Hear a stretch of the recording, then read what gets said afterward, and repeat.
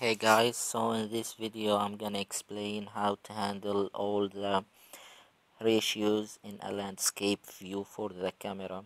As you can see, we have uh, 3, 2, 4, 3, 3, 4 different ratios.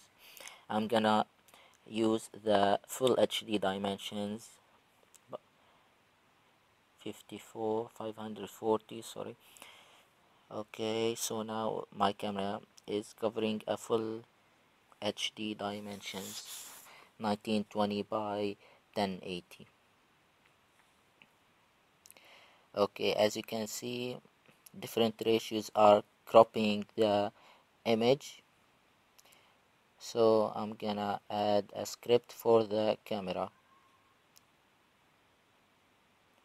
Landscape cam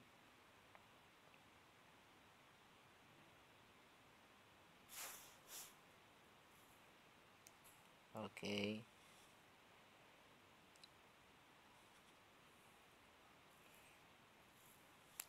Delete the update. I'm not gonna use it. Gonna declare the original width and height. I'm using which are the 920 for the width. Original width equal 920 and original height is 1080 now in the oops now in the start game object dot get component camera dot aspect gonna assign the new dimensions to the aspect by dividing the original width and original height times the new dimensions screen dot width over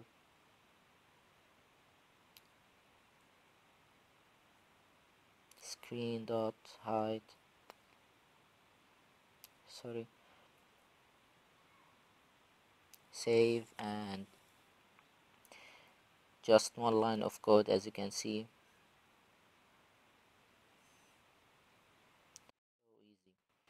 So I'm gonna add the script to the camera and let's check.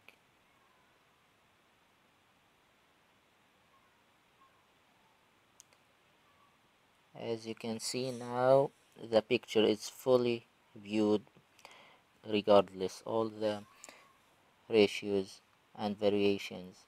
Thank you for watching and don't forget to subscribe. Thank you